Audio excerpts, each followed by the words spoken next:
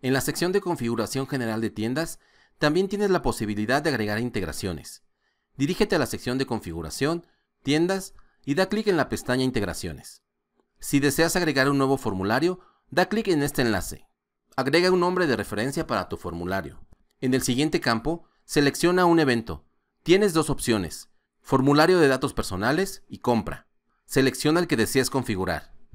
En el siguiente cuadro de texto, debes ingresar el código HTML del formulario. Este código lo puedes generar desde el servicio de autoresponder que tengas contratado. Vamos a introducir un código de ejemplo.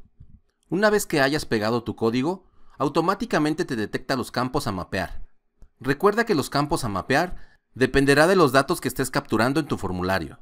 Para relacionarlos correctamente, debes verificar el nombre del campo y seleccionarlo de la lista de valores disponibles. Si tuvieras otro dato en tu formulario, por ejemplo el nombre, deberás realizar el mapeo de la misma manera. El campo nombre iría con el valor llamado primer nombre, y así sucesivamente dependiendo de los datos de tu formulario.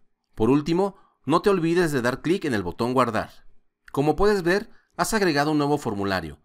Antes de utilizarlo, no te olvides dar clic en el estado para que quede activo.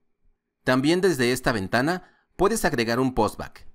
Simplemente da clic en el enlace Agregar postback. Introduce un nombre de referencia. Nuevamente selecciona el evento. Para este ejemplo vamos a utilizar el de compra. Veamos una línea a manera de ejemplo.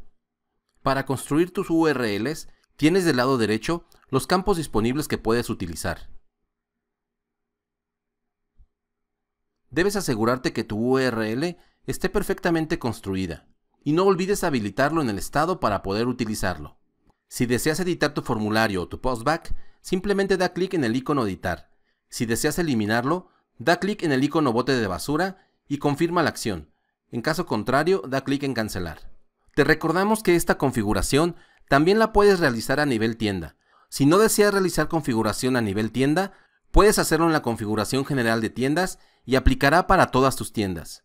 De esta manera, has aprendido a crear integraciones a nivel configuración general.